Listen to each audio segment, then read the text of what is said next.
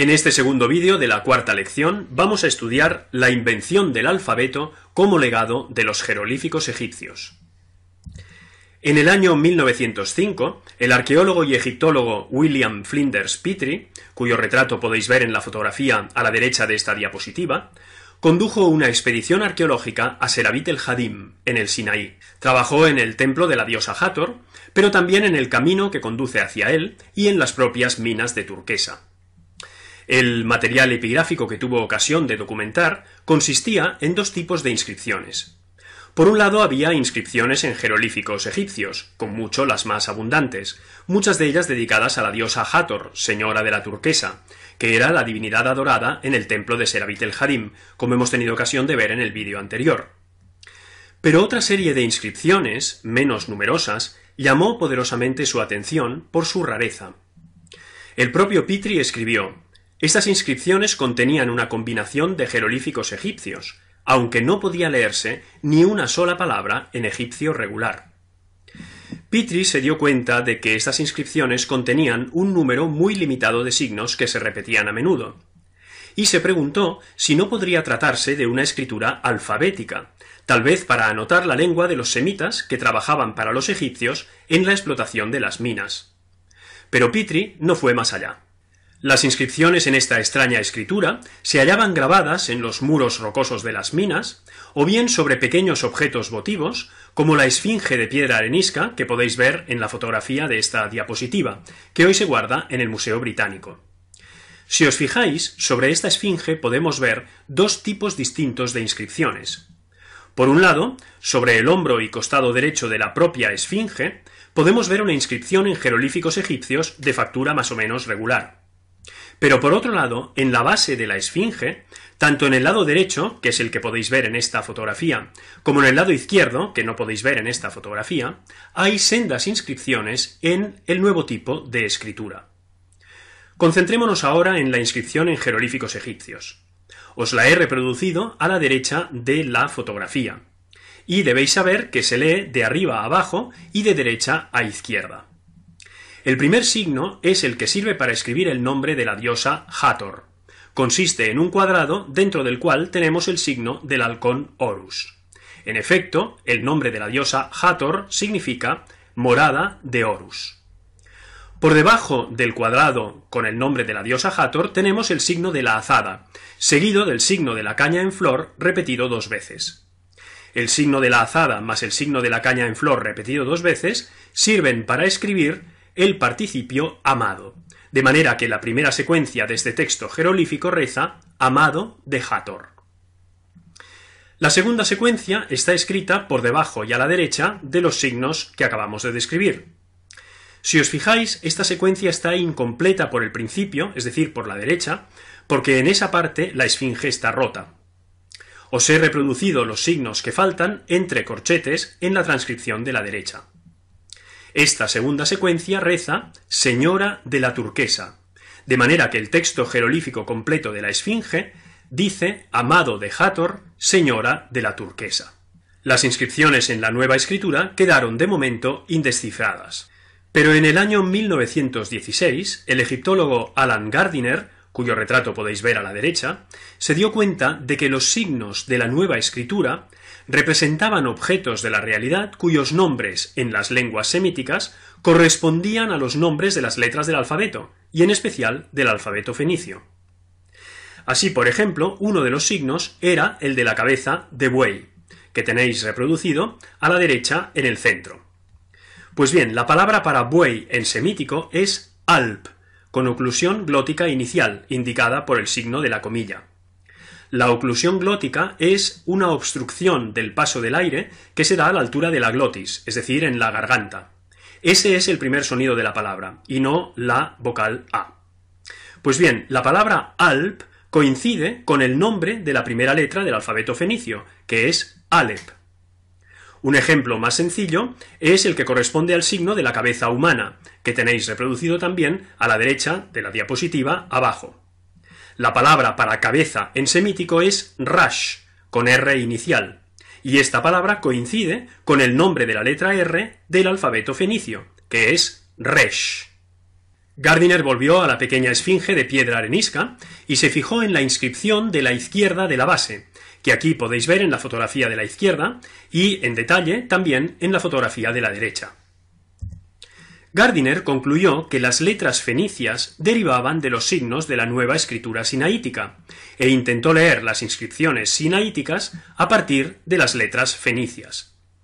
En la fotografía y el dibujo central de esta diapositiva podéis ver las últimas cuatro letras de la inscripción de la izquierda de la base de la esfinge de arenisca.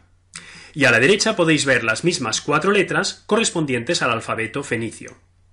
Las secuencias se leen de izquierda a derecha. Si os fijáis, la tercera y la cuarta letras son las mismas tanto en la inscripción sinaítica como en la secuencia fenicia. Se trata de una L y de una T. La L, como podéis ver, ha experimentado un proceso de rotación en el paso del sinaítico al fenicio, lo cual es perfectamente normal. En cuanto a la segunda letra, el ojo de la inscripción sinaítica se corresponde bien con la letra circular del alfabeto fenicio. Esta letra circular es el ayin, que anota una consonante fricativa faringeal, es decir, que se pronuncia en la garganta, que, al igual que la oclusión glótica de la que hablábamos antes, es característica de las lenguas semíticas y en general de las lenguas afroasiáticas, pero de la que carecen las lenguas europeas, y que, por tanto, a nosotros en principio nos resulta difícil pronunciar.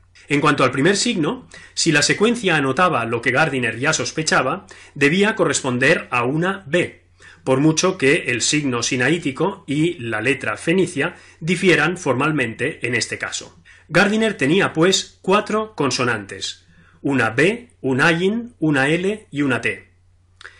Todo parecía indicar que la nueva escritura sinaítica no anotaba las vocales, igual que la escritura fenicia.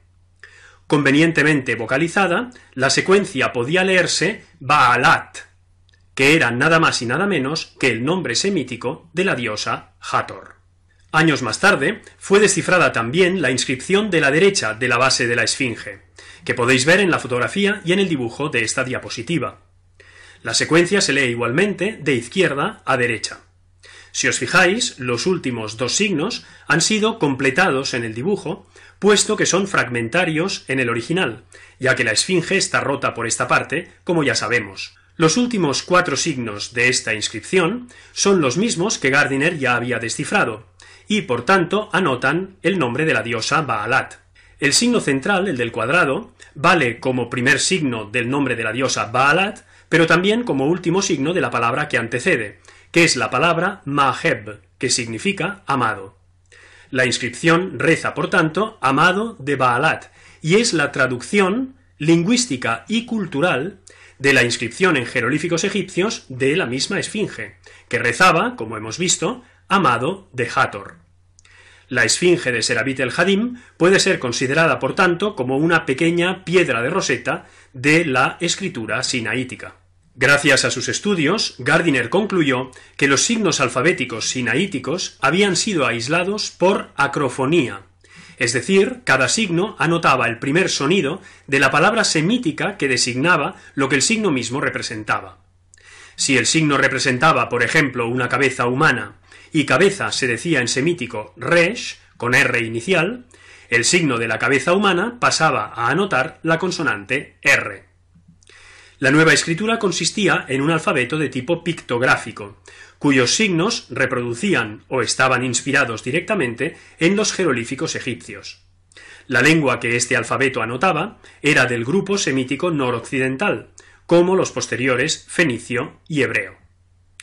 Muchos años más tarde, en 1961, en su Historia de Egipto, Gardiner escribió Los jeroglíficos siguen vivos, aunque en una forma transmutada, dentro de nuestro propio alfabeto. La nueva escritura alfabética fue denominada escritura proto-sinaítica.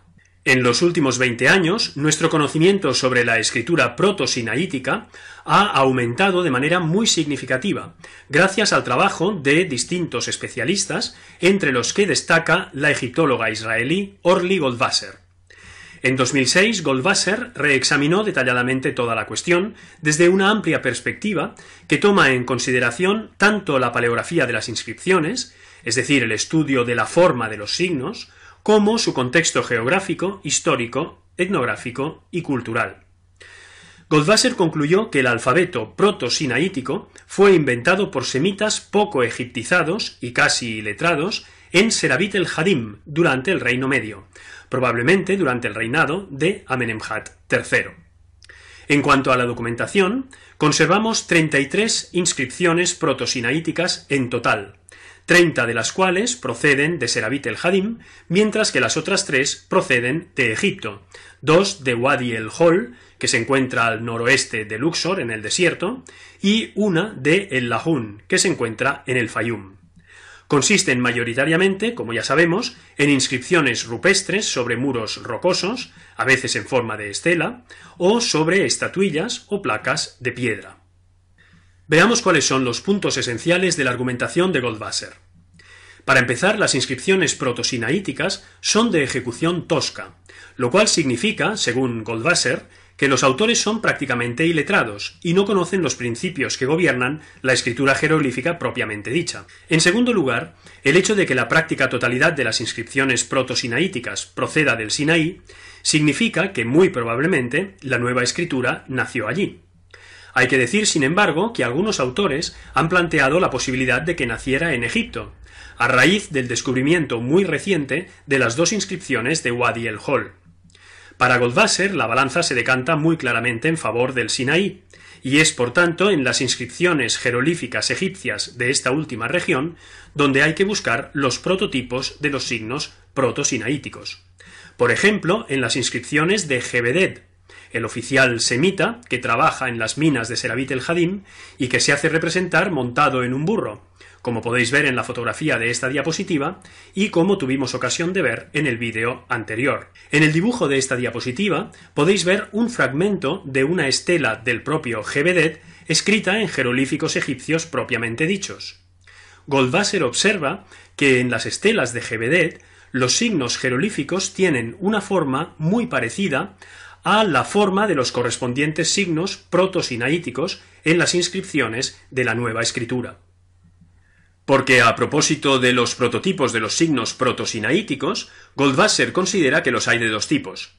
La mayoría de los signos protosinaíticos tienen como modelo jeroglíficos esculpidos en inscripciones egipcias del Reino Medio, en concreto de fines de la doce dinastía, en el mismo Sinaí, y sobre todo en Serabit el Hadim.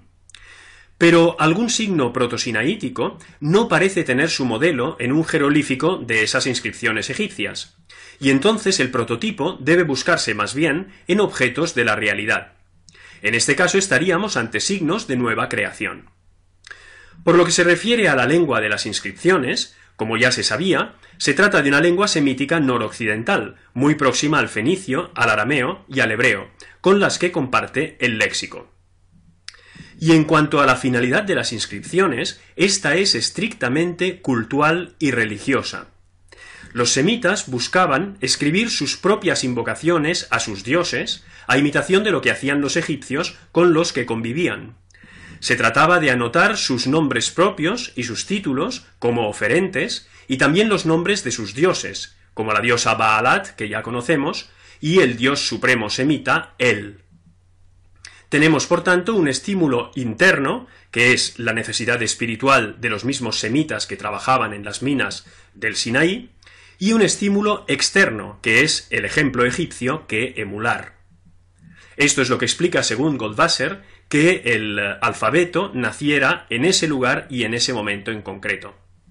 Finalmente, en lo que se refiere al mecanismo de aislamiento de los signos, este es, como también se sabía, la acrofonía.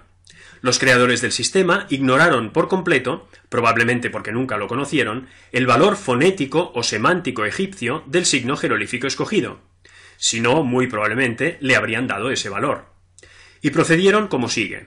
Tenían que escoger un signo para cada uno de los sonidos consonánticos de su lengua semítica, que son en total una veintena. Identificaron por tanto estos sonidos y escogieron una palabra de su lengua que empezara por cada uno de ellos. Acto seguido, establecieron como signo para anotar cada sonido el jeroglífico egipcio que representaba el objeto de la realidad designado por la palabra en cuestión, o, en su defecto, un icono de nueva creación, como ya hemos comentado. Es importante que tengamos bien presente que los alfabetos semíticos solo anotan las consonantes. Es así en el caso del alfabeto fenicio, y lo fue también en el caso de su precedente, el alfabeto proto-sinaítico. Y pasemos ya a ver ejemplos concretos. Empezaremos por la segunda línea de esta diapositiva, porque el ejemplo es más fácil. La consonante B, los creadores del alfabeto escogieron la palabra bait, que significa casa, y adoptaron como signo para anotar el fonema B el signo jerolífico de la casa, que aquí podéis ver a la izquierda de la flecha. A la derecha de la flecha podéis ver su adaptación en la escritura proto-sinaítica.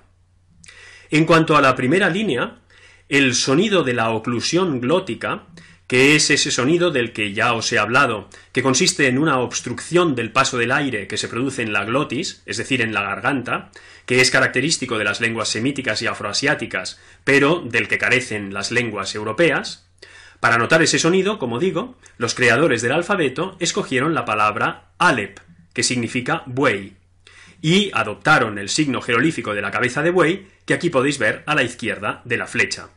A la derecha de la flecha, en cambio, podéis ver su adaptación proto-sinaítica.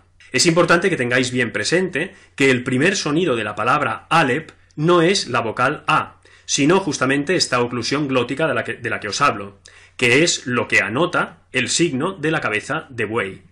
Por lo que se refiere al sonido de la aspiración, y pasamos a la tercera línea de esta diapositiva, eh, los creadores del alfabeto parecen haber escogido interjecciones como por ejemplo hey o hoy, que serían las interjecciones que utilizarían los capataces para llamar a los obreros al trabajo. Y en efecto, el signo jerolífico del hombre que levanta los brazos aparece muy frecuentemente en las inscripciones egipcias del Sinaí y en concreto de Serabit el Hadim para anotar el título de capataz. Y es justamente este signo el que los creadores del alfabeto escogieron para anotar la aspiración. Para el sonido ye se escogió la palabra yad, que significa mano, y se adoptó el signo jerolífico del brazo y la mano. Para el sonido k se escogió la palabra kap, que significa palma de mano. En este caso, Goldwasser piensa que no es probable que el prototipo del signo protosinaítico sean los signos jerolíficos egipcios de la mano y de la palma de mano, que podéis ver a la izquierda de la flecha. Porque estos signos en las inscripciones del eh, Sinaí aparecen reproducidos de forma muy estilizada y además siempre en horizontal, mientras que el signo protosinaítico es más detallado y aparece normalmente reproducido en vertical. De ahí que en este caso Goldwasser piense que probablemente el prototipo del signo protosinaítico deba buscarse en el referente real. En cuanto al sonido L, se escogió la palabra lamd, que significa cuerda de doma, y se adoptó cualquiera de los signos jerolíficos que a los semitas podían sugerirles una eh, cuerda de doma. Para los sonidos M y N se escogieron respectivamente las palabras mayim, que significa agua, y nahash, que significa serpiente, y se adoptaron los signos jerolíficos del agua y de la serpiente.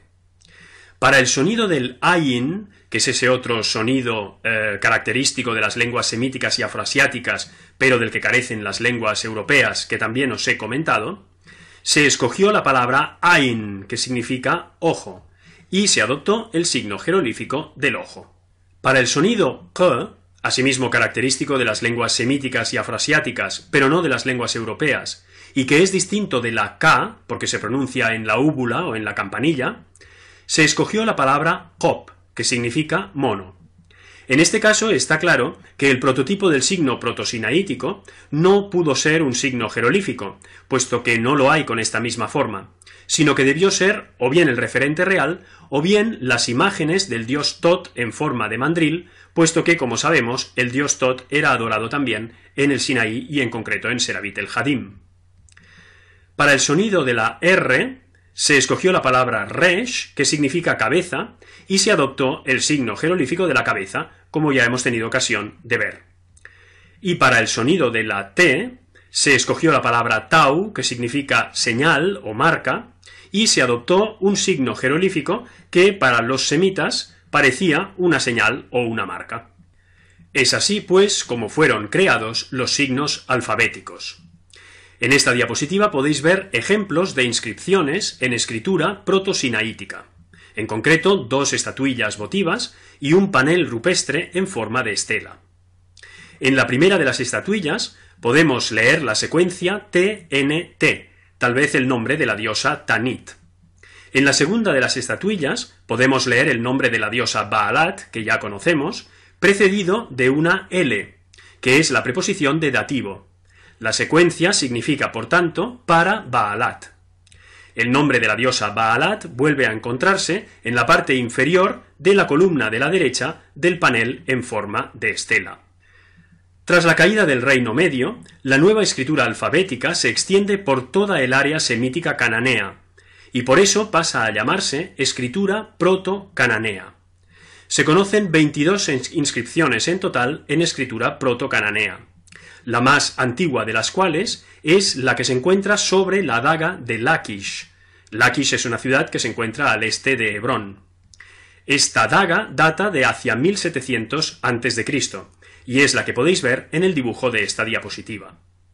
Es importante tener bien presente, sin embargo, que la escritura proto-cananea sigue siendo empleada solo de manera muy restringida y esporádica, sobre todo para anotar nombres de personas y de divinidades. En efecto, se trata de una escritura de gentes humildes y anónimas, lejos de las escuelas de escribas y de la alta cultura o de las cancillerías de los estados. Los grandes estados al lado y lado de la región desértica sinaítico-cananea la ignoran por completo. Los Ixos, que como sabemos son semitas de origen cananeo que se hacen con el poder faraónico, lejos de sentir como propio y de adoptar el alfabeto semítico del Sinaí, se egiptizan por completo y hacen suyas las prestigiosas formas culturales del país que dominan, entre ellas las escrituras. En su capital, Avaris, no se ha hallado ni una sola inscripción en alfabeto proto-sinaítico o proto-cananeo. El único estado que sí posee una escritura alfabética es la ciudad-estado semítica de Ugarit, que se encuentra en lo que hoy es la costa siria. Allí, entre los siglos XIV y XII a.C., fue creado y utilizado un alfabeto cuneiforme, es decir, un alfabeto cuyos signos se escribían a base de cuñas que se imprimían sobre tablillas de arcilla, como se hacía en Mesopotamia. En la fotografía de esta diapositiva podéis ver una tablilla alfabética de Ugarit, es decir, una tablilla en la que se han anotado todos los signos alfabéticos en el mismo orden que después tendrán en el alfabeto fenicio.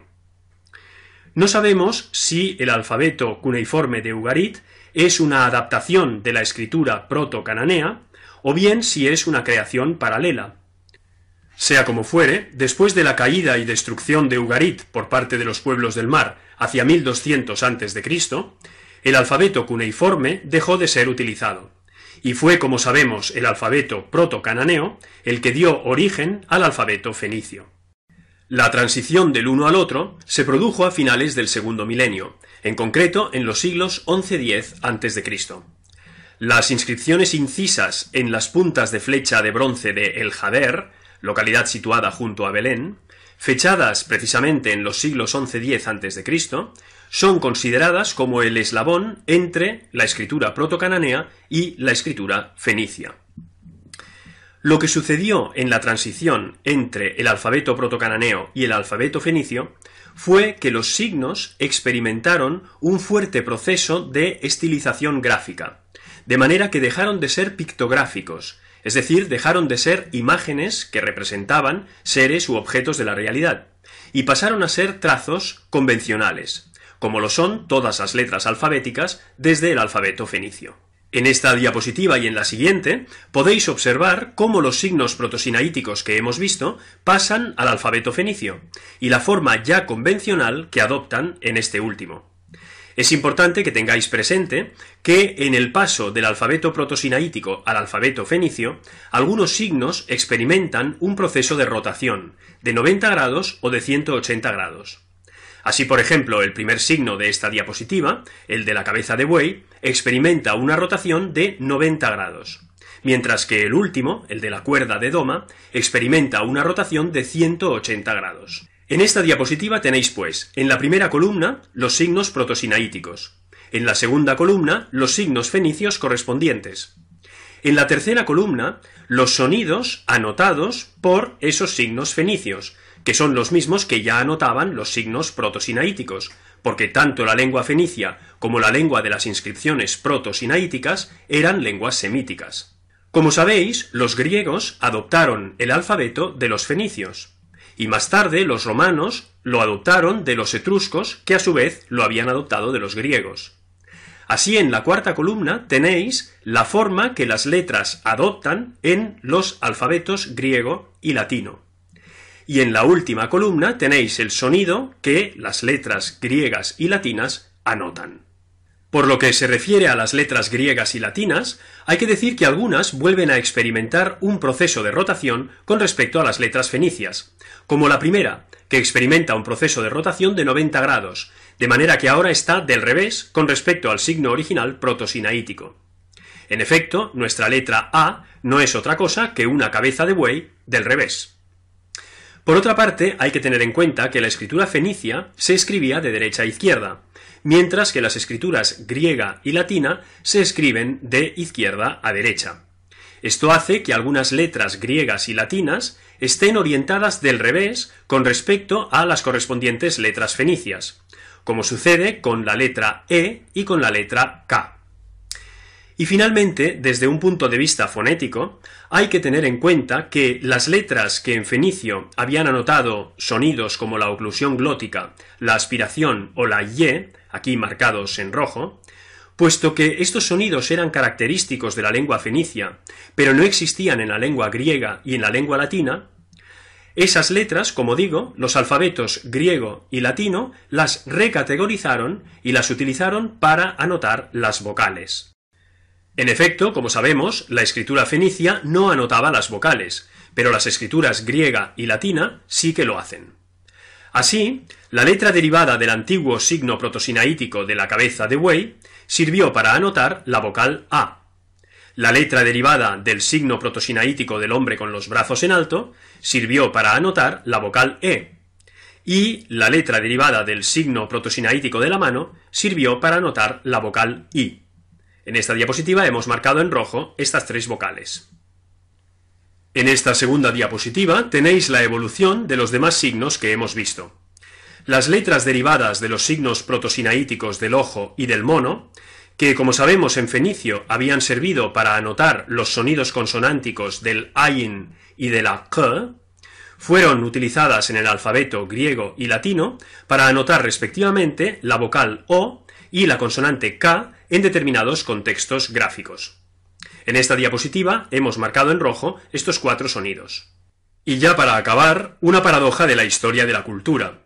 Cuando los egipcios, a partir del siglo II a.C., pero sobre todo a partir del siglo II después de Cristo, empezaron a escribir su propia lengua con las letras griegas y crearon la escritura copta, no podían imaginar siquiera lejanamente que las nuevas letras derivaban de algunos signos de la más prestigiosa de las escrituras de sus antepasados, los jeroglíficos, después de una evolución gráfica de casi dos mil años y de un periplo geográfico circular que va de Egipto al Sinaí, del Sinaí a la franja siro-palestina, de la franja siro-palestina a Grecia y de Grecia de nuevo a Egipto. Una nota final sobre la evaluación de esta lección.